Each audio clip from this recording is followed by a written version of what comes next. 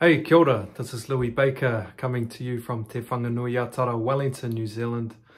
I'm very excited to be opening up for the one and only Fat Freddy's drop this summer through UK and Europe doing the headline shows. And uh, for those who don't know my music so well, it's kind of like a neo-soul, soul type thing.